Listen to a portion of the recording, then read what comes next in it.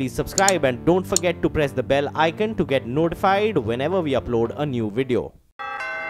Okay, it's just a very flat start uh, on Nifty and Sensex. Uh, down 9 on the Nifty, up 41 on the Sensex. Uh, so uh, you'll have to count this as flat. The Nifty Bank is a tad under pressure. It's down about a quarter percent. And the mid-cap index is up about 0.1. Still a relative mild outperformer. The ones uh, on the green, uh, ONGC, Sun Pharma, of course, where there was a FDA, US FDA permission. ONGC and GAIL are, of course, uh, beneficiaries of the global firmness in oil and gas. Uh, Vedanta as well, beneficiary of copper. That's the fourth uh, uh, fastest rising stock. Yes Bank has had a very good time, and we will get to our technical gurus on Yes Bank as well. That stock is up about 0.6. Cipla, Dr. Reddy's, again, the pharma stocks doing well. Tata Steel uh, as well, up about 0.4. So that's the metal stocks. Uh, among others that are doing well, Hero Motor, HUL, Adani Ports, uh, UPL, Maruti Suzuki, all up just about a quarter percent or thereabouts. In the red BPCL, obviously the one that's hurt by the higher crude prices, uh, 0.9 down. Ultratech Cement down 0.7. Indiabulls Housing, ICICI Bank. Well, the banking stocks uh, would be hurt by the uh, sentiment both in the yield, uh, uh, in the market borrowing uh, issue as well as crude prices, inflation front. Uh, those stocks are taking a bit of a knock, not a huge uh, lot. Uh, ICICI Bank, BPCL, uh, Indiabulls Housing, Coal India, IOC, Axis Bank, uh, HPCL. So basically, the oil stocks and uh, the NBFCs and banks uh, are what one should expect today to have a mild trade. Okay, well, the mid-cap index is flat, but don't be fooled by the flat movement. There's plenty of excitement beneath the surface. Relcom, once again, 15% higher. It actually hit that 20% mark, but now it's up almost about 16, 17%. Volumes are tremendous on Relcom this morning. Sanghi Industries, uh, Motilal Oswal has identified that stock. Sanghi Industries is moving with strength, 8% higher now on that. Precision camshafts, the stock that Mr. Tulsian had uh, recommended as his long-term idea, that's up almost about 5 odd percent at the moment. Prestige Estates is in the news, up almost about 4 odd percent there. Aban Offshore is up 4 percent. That that one's been moving with strength. Pratap Snacks has been in the news as well, looking good over there. Names like ITD Cementation, etc., are picking up pace right now. Glenmark had some positive news flow going for itself. I don't know if that's reflecting in the stock, but Glenmark has also been in the news there. And uh, just a couple of more names. You know, all these um, these uh, w- trading favorites, uh, the uh, penny stocks, if you want to call it, are moving up with strength. So JP Associates is up quite a bit. Lanco Infratech is moving with some strength there. You have a couple of others like KSK Energy Ventures. So just be a little cautious about the kind of stocks that are gaining momentum now. Yeah, but you know, Sonia, that hasn't uh, um, Deterred know, anyone. deterred it, uh, uh, anyone from uh, uh, you know pa- participating in the market. It- it's a good start for the market because you know once, again the mid caps are doing well, uh, though not as clean as yesterday. Once again, the problem for the market is the bank nifty down about 48 points right now on the index, so about 0.2 percent lower is what we have. Uh, Reliance Communication actually after opening about 20 percent higher is now up 15 percent, so that's looking quite interesting. Uh, Ashwani, your thoughts on market opening?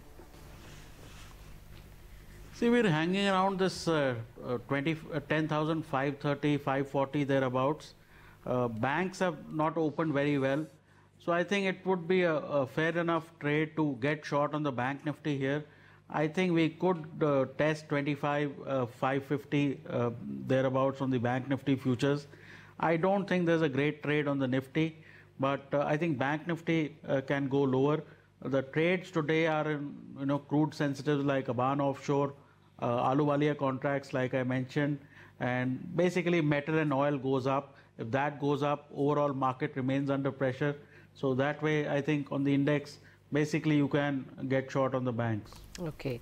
Uh, Sudarshan, anything coming on your radar now? Yeah, apart from the fact that we uh, stay in the Nifty as a long position, 450 is our stop. Tata Steel and Yes Bank are buying opportunities. Yes Bank was in my list in the morning. Both are uh, absolutely on the verge of significant breakouts. So you have to take a position and wait patiently. Okay, PVR has been doing well for last few days now. Of course, uh, that uh, maybe the, the impact of uh, Tiger Zinda and the kind of collections that it's seeing. But Ashwani, you have tracked this one in the past. Your thoughts on PVR? See, PVR has made uh, you know some sort of base in this uh, 1200, 1400 uh, type of zone. So I think at some point we will see, you know, 1750, 1800. So this is one of the stocks which has bottomed out as the market has gone up. So I think this is a point to get long on PVR. And Mitesh, uh, uh, anything on your radar? Yeah, actually, a uh, couple of pharma names, uh, Granules, Sun Pharma, Dr. Reddy's, I think all the three are showing good positive traction. And I would agree with Sudarshan, I think Yes Bank looks very interesting. Though only I'm waiting for the stock to get past 320, which is only about half a percent away. And that should be, you know, triggering some kind of a buy uh, alert. And I think then the stock can head towards 335 kind of levels. Okay. Oh, well, uh, any short calls at all? Uh, Ashwani, you said you would be as ready to short as to go long. Well, uh, particularly on the banks, I think uh, all sorts of PSU banks, even private banks, you can go short on because uh, hardly three or four banks are in the positive. And as we uh, go forward, I think banks will come under significant uh, pressure because of these uh, crude prices, etc. So maybe Canara Bank, State Bank, uh, you know, PSU banks can be gone short on. Okay, just, okay. just want to point out one more stock, uh, which is Just Dial. It had a big move yesterday, and today, uh, once again, resuming that move. Just pull out the chart of that stock. Uh, uh, 536 right now on that stock. Uh, had a bit of a dip, but that's been bought. Ashwani, thoughts on this one? I had a big move yesterday as well. See, overall, IT is looking much better than before, but uh, you know, just dial, uh, it's found support around 480. I think in this rally we could see maybe even uh, 590, 600. But I think there are better IT stocks in the mid cap. If you look at Sonata, Hexaware, etc., they are showing much better trends. All right. Gentlemen, thank you very much for staying with us through the pre-market and the early opening trades. We will touch base with you a little later at 10 a.m. Uh, we are now joined by the management of Jindal Steel and Power. That stock has risen about 1.5% this morning after the company announced the completion of their uh, 3 million tons per annum steel making oxygen furnace installation at uh, Angul in Odisha. Naushad Akhtar Ansari, the CEO, Steel Business, joins us on the phone line. Uh, Mr. Ansari, good morning. Thanks much. Uh, uh, can you tell us uh, immediately this year itself how much will steel output increase and what that might do to your EBITDA? Yes, you know, the plant has just uh, started uh, yesterday and the commissioning as we promised that it will be in December. So we are exactly on target as far as commissioning of the plant is concerned. Mm. Now the ramping up is going to take place uh, in the next quarter. Mm. And uh, we expect going forward that on an average we should be making about uh, 20, roughly around 20 heats a day. So with that, uh, that takes us down to about five, you know, 5,000 tons roughly. So, so no, and this added with the EOF facility which we already have. So this should this should give us something close to about um, 450,000 around that, you know, roughly about half a million additions we should be able to. Okay, so okay. an addition of half a million tons because of this uh, uh, installation. Uh, yes, what yes. will that mean? Uh, take the annual output to say in FY19? in FY19, we should be able to do close to. If, I'm not talking only of Angul, but I'm talking of Angul and Raigarh together, mm-hmm. where the capacity is already gone to about 9 million ton plus. So in FY19, we should be able to do at least around 7.5 to 8 million tons. Okay. Oh, 7.5 to 8 million tons by FY19. Okay, that is a, a strong target. Also, what would this do to your EBITDA? There are expectations that your EBITDA could get to about 9,000 crores by FY19. Is that a doable target? Yes, indeed it is. It is indeed. We are working on that. And uh, obviously, there are a number of factors which uh, affect the EBITDA. One is the production level. Uh, there is the margins which are there. So what's going to happen is that the margin is also going to improve primarily because BOF uh, should be the cost of steel making through BOF should be actually lower than the current cost which we have. So therefore, these two factors combined together should be able to give, give the kind of EBITDA that You mean this will give you a advantage even in your EBITDA per ton? It will be uh, your uh, EBITDA yes. per ton is likely yes. to be higher by how much? Yes, yes, yes. By I would say close to about 1500 to 2000 rupees. Okay, okay. okay. Uh, uh, Mr. Ansari, you know, you had a problem with uh, uh, banks having to recognize your loan as NPA. Uh, does that make life difficult in any fashion? Are you able to find enough money for working capital and completion of other expansions? Yeah, I mean, if you look at that, I mean, there were some technical issues with the bank, and that is already getting resolved. So, mm. we are not really, we don't think that banks are that much an issue. And as you are aware, um, we are still under JLF, but as far as uh, the discussions which we had with the bank, uh, we really expect to come out of it uh, very, very quickly. So we don't, we're not worrying too much about the working capital and, uh, you know, Okay. Okay. we, we can manage that. Sure. Can you tell us what would the cost savings be uh, at the Angul plant? Uh, when you're talking about cost saving, that's what I mentioned to you, that, you know, through BOF route, it will be close to about 1500 to 2000 rupees, uh, the Oh, cost that was a cost saving. the. Okay. Yes. And so put together the cost saving and the volume ramp up, uh, say over the next few years, what kind of an average EBITDA per ton are we looking at? Uh, Look, I mean, the EBITDA margins today are close to about 9,000 or so, with BOS uh, being a significant part of uh, this entire thing. Uh, we, we expect that it should certainly go up closer to about 10,000 rupees. Okay. Uh, just to uh, complete that point, Mr. Ansari, uh, uh, are you in discussion with banks and do you have some clarity that uh, they will pull you out of NPA status? Yes, indeed, because there are certain conditions which we need to make, and we are already, uh, you know, moving towards that uh, in terms of uh, certain equity raising and so on. So we're already working on that. It's a matter of uh, time before we complete that, and we certainly expect uh, to come out of it very soon. Can you give us, uh, now that we have you with us, any update on any asset sales? What is your debt? What might it be, say, 12 months down the line? You know, the important thing is that despite increasing our production and putting up this new plant, we have not increased the debt level at all. We remain at the same level. So that is that is first positive that we are talking about. Okay. Then we already have with the banks uh, the, the repayment schedule and so on. And you might, uh, you know, we are today totally uh, clean. For example, there is absolutely no overdue today, and we continue. We expect to continue in the same way. Okay. Okay. All right, uh, Mr. Ansari, thank you very much for your quick comments uh, on the expansion and the impact on the company.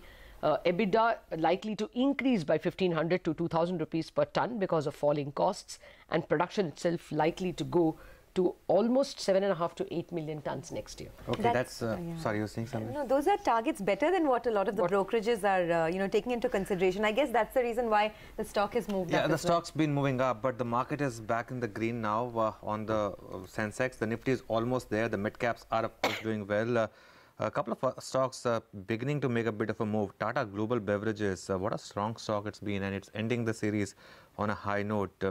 So there's been a bit of a uh, uh, buying in that stock as well. Let's invite our market master, Manish Sonthalia, head equities uh, PMS at Motilal Oswal AMC, uh, now joins us. Uh, Manish, good morning. Uh, what a remarkably strong market it's been, and fund managers delight, right? The mid cap index has been up 46% this year. The Sensex also up 28%. But the challenge is for 2018. Uh, how do you repeat this kind of performance of 2017? And that's the big challenge, you know. Uh, as long as the party is going, everything seems fine. But you know, valuations are definitely a concern, particularly so in the mid cap and the small cap space. I mean, there's no two doubts about it. One is sure about the earnings coming through, but fisc is a problem, CAD is a problem, inflation is a problem. I mean, all these will weigh on valuation. So going into two, and on top of that, you know, long-term capital gains tax because of shortfall of revenue. You know, and even that is going to weigh on the market till, till maybe the first of February when it gets out of the way or not. So on a broader market, since it's not very expensive, 17, 18 times one year forward, one can still expect if long-term capital gains tax, etc., are not coming, then maybe 10 to 15 percent sort of a return on the indices, which is Nifty or the Sensex, is still possible. From a one year's perspective, can't be that sure about the mid cap and the small cap. You, you're so strongly expecting the long-term capital gains? I mean, we know that fisc is going to be a bigger problem in FY19. There's no doubt about it. You know, given the revenue collections on GST, and December is going to be a bigger problem. We just saw the numbers yesterday on November, so Okay. Uh, well, uh, uh, Manish, uh, be that as it may, you are being flooded, I assume, uh, month after month with uh, either SIPs or fresh inflows. Where do you put them? So we have a select set of stocks and we are buying them only, you know, but you know, it's the same private sector banks, it's the same consumer names and slightly on the consum on the industrial side as well. Believe that uh, the capex cycle may be just on its way up. So maybe industrials as a space is also looking somewhat interesting. So these are new areas where we are deploying some capital. Okay. Manish, hi, good morning. I was just going through your funds and uh, one of your big bets this year has been AU Small Bank. Uh, I just want to understand from you what the, uh, the, the growth potential looks like for the sector, for the maybe if you don't want to talk stocks, but just for the sector as a whole. So the private sector banks have been doing much better than the uh, you know the public sector banks. Of course, valuations are much more comfortable for public sector banks, but the basic problems of uh, let's say the public sector banks are not yet fully solved, and you know NPAs are still going to be a worry.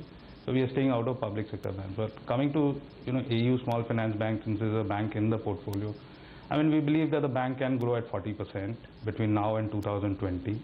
I mean, just take this example and look at HDFC Bank when it, when it, you know, just was coming out of its IPO, its profit was 40 crores, its market cap was 1,000 crores. You know, at any point in time, HDFC Bank always looked expensive, right? But today, HDFC Bank is having a profit of 15,000 crores and market cap, you know, in lakhs. So lakhs of crores. So you know, you know, you just got to be sure about how long that growth is going to last and whether the bank and the people running that bank have that DNA to maintain growth without NPAs. I mean, that is the bet we are taking on AU Small Finance Bank. Okay. The bank has executed very well and it will execute well over a period of time. Okay. Uh, one stock which has done remarkably well for you and your portfolio is Page Industries, uh, Manish, but uh, it, it's about the most expensive stock in the market. Uh, so, uh, you know, what do you think the market is betting on? So the markets have always got the longevity of the growth wrong. You know, bank has grown at something like 32% over the last decade, uh, 12 years or so.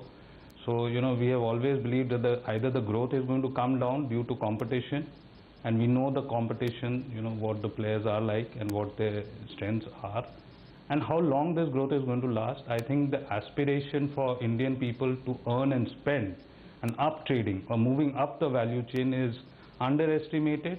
We are only looking at the pie growing, and within the pie growing, this this uh, you know Page Industry is a leading player, and he is also expanding the market category, in entering into various newer segments. The size of the market has become very big, and he's a dominant player. I think the competitive advantage is much more structural than what people can estimate. Okay. Uh, yes, that point taken. Actually, Anuj, uh, many of his stocks are expensive. You know, Kotak Bank, Page Industries, Bajaj Finance, Eicher Motors, Bosch, which of them is cheap? Uh, They're all expensive. But yes, they have made money for you, I guess, uh, uh, uh, Manish. Uh, uh, what about, uh, you know, the oil and gas stocks? You have HPCL in one of your portfolios. Uh, would you want to now either replace it or at least add ONGC, going by the way crude is charged up?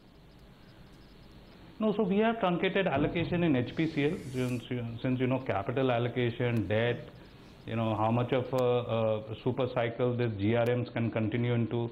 I mean these are some of the reasons why we actually reduced allocation in HPCL. But given the valuations of below 10 price to earning, we still think that a 5% allocation is good. Uh, for this sort of a name, this sort of an ROE. Having said that, within the oil gas space, we are far more bullish on the city gas distribution names uh, than maybe the likes of upstream companies. Okay. Uh, you know, generally you guys at Motilal Oswal like to pick up companies that are market leaders in their segment. And one stock that you've identified is Gabriel India, which is a market leader in the shock absorber space. Uh, this is a stock that not too many people talk about, but it's done very well in your portfolio. Uh, is there still a lot more scope here? So, you know, they are leaders in the shock absorber space and within the two-wheeler space. And if you believe that the two-wheeler space has still a long way to go in terms of the number of vehicles that are sold in this country, this company is only going to either maintain its market share or increase its market share. At the same time, operating leverage playing down, playing out quite well for the company over the last two, three years. If you see the margins have expanded, if you look at the operating ratios of the company, I mean, they are fabulous given the valuations at which they were trading. So I think, you know, it was an undiscovered name. Uh, we liked it. We still continue to hold it. And I think that the journey is still a long way to go from these levels. Okay. Uh, well, Manish, uh, uh, would you say the downside of this market would be protected considering the flows that are coming into mutual funds? Latha, if the capital gains tax comes, then the market will fall like a stone. Everything said on the table, economy, fundamentals, earnings, if the capital gains tax gets introduced, we have a serious problem in the market. Other than that, market should be fine. Okay, but uh, you know it, that bogey has been there for last two budgets as well, Manish, and uh, you know, you know, there's a bit of a fear, but it uh, you know doesn't materialize. Uh, do you think this time there are strong enough reasons for you to believe that we could be having long-term capital gains tax back? Yeah, the fisc is in a problem. You know, we had the fisc in our favor over the last two years. Now the fisc is going on the other way. Oil prices are approaching $65. You know, as uh, if we see a $70, all hell breaks loose. And then, you know, you know, the GST collections are not up to the mark. It's going to be a bigger problem in 2019 if this is what the trend is. How are we going to bridge the fisc? If that gets, you know, whatever, it's 50,000 crores, you know, capital gains collection. Um, that is surely a possibility. Okay, but barring that, uh, uh, do you think the market, uh, let us assume it, that doesn't happen for whatever reason. I mean, uh, there are calculations that the GST shortfall is actually only 27,000 crore as of now. That's not a whole lot. It's just because already the government does not have dividend from RBI and Spectrum and all that, that the whole is uh, uh, worrisome. Otherwise, on GST, if you do the calculation yesterday, uh, about the average I got from economists is about a 25 to 27,000 crore shortfall. And these are still, you know, young years for young months for GST. As you perhaps, uh, uh, you know, mature in terms of the system, it may not be. Anyway, only for argument's sake, if there is no capital gains, then what's the view on the market? There, there is no problem with the market. The headline indices, which is the, you know, the Nifty or the Sensex still has, and you know, in all probability, will deliver something like a 15% Okay. returns even from these levels. So we are looking at closer to 12,000 on Nifty, maybe by year 2000, March 19. Okay. What about uh, the mid caps? Uh, that is where there has been a near 50% rally in 2018. Uh, so, what would you, how would you approach that, uh, the non uh, Nifty stocks? Problems are valuation. You know, earnings is where some sort of surety remains, but uh, you know, valuations are simply out of the whack. So it's all going to depend on which of these mid caps are there in your portfolio, and how sure you are about the earnings and the how long those earnings are going to last. So there's no one straight rule for the mid cap as a whole. Even I mean, uh, in all probability, there's 50% sort of return. 47% uh, for mid cap and 58% for small caps. In, all, in all likelihood, is not going to get repeated in 2018. Okay. You said 12,000 on the Nifty by 2019, right? March, yes. By March 2019. Okay, just one final question then. I know you guys are not big fans of metal stocks, but uh, recently we've seen names like JSPL do exceptionally well. You know, a lot of commissioning of new plants, higher volumes, etc. Uh, would you look to increase allocation or put fresh money to work here? Typically not great fans of metal companies, but the fact remains that, uh, you know, outlook on steel remains good. You know, we have seen iron prices at $75 yesterday. Uh, you know, I think the interesting names would be in the mid-cap space, guys which are there in the NCLT. You know, if there's some resolution, you can have a great runaway from, uh, you know, these prices, these NCLT cases. You know, I don't want to take names, but the NCLT cases offers great, uh, you know, uh, scope. Uh, you in would already of, be- uh, market. uh, Are you already buying some of them? Because now they are at throwaway prices. Uh, No, not, not yet. I mean, we are doing some more work on them, and you know, we've got to be sure about these managements, etc. But yes, this space looks interesting. Okay, in, in the past, you know, we've had uh, uh, Motilal Oswal, some of the points having, you know, interesting mid-cap pharma names. Ajanta Pharma is a case in point. I think Granules as well. Uh, anything that you are bullish on right now in the mid-cap pharma space? So pharma is a space I'm quite bullish on. I think there are problems with global generic pharma companies, and I don't want to take names, but you can understand which name I'm referring to. Uh, you know, uh, if these were to go some sort of, you know, into Chapter 11, or you know, you could have, uh, you know, seeing the bottom of, you know, pharma companies as far as India is concerned, because a lot of market share will be taken by our Indian pharma companies like the Suns and Lupins of the world and plus it could also signal some sort of uh, price erosion stalling, you know, in the US, uh, the generic price erosion. So I'm a great fan of pharma companies at these prices, whether it be domestic pharma companies or whether it be generic players who are exporting uh, outside India. So there's classic value play. Uh, in the domestic pharma space, we like IPCA, uh, we like uh, Alkem, in the global generic Indian pharma companies, we like Sun. All right. Manish, it's always a pleasure we, uh, speaking with you. Thank you very much for joining us uh, with that wealth of analysis on several stocks. If we don't meet you before 2018 starts, uh, here's wishing you a very warm 2018. Likewise to everybody. Thanks, thanks, Manish. studio.